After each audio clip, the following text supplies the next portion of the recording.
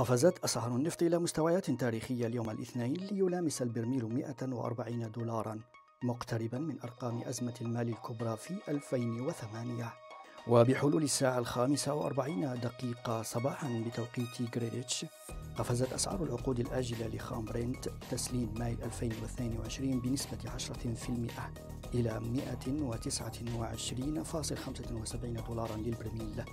وهو أعلى مستوى منذ جوان 2008 بعد ارتفاعها بنحو 7% في جلسة الجمعة الرابع من مارس.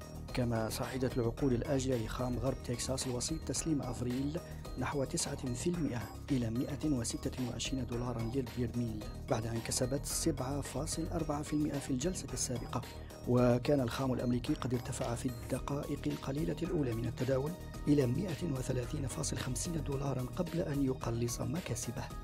وبذلك تصل مكاسب النفط منذ بداية العام الحالي بأكثر من 67% لكل منهما متجاوزة ما حققته في عام 2021 بالكامل بأكثر من 50% وتقربه من أعلى مكاسب سنوية في 1999 ويأتي هذا الارتفاع بعد أن كشفت الولايات المتحدة أنها تناقش فرض حظر على استيراد النفط من روسيا ثاني أكبر منتج للخام في العالم. ما أثار مخاوف من حدوث أزمة قاسية في الإمدادات.